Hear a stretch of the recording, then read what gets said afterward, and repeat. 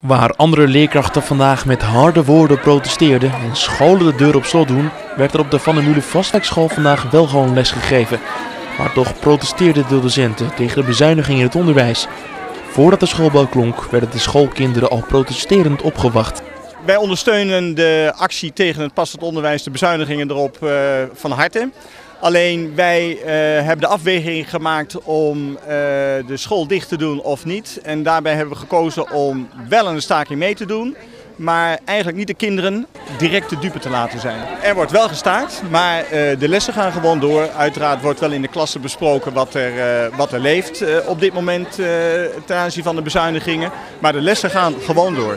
Ik sta er helemaal achter. Ik bedoel, het is gewoon, er komt gewoon ontzettend veel op ons af uh, uh, de komende jaren. En uh, ja, ik vind de scholen hebben daar alle, alle steun bij nodig. En wij als gemeente zijn natuurlijk ook bij betrokken bij die hele decentralisatie. ja, wij, wij vinden ook van, ja, er komt eigenlijk gewoon te veel op ons af. te snel, we hebben er te weinig geld voor. Um, dus ja, ik, ik, ik sta echt helemaal achter, achter deze actie.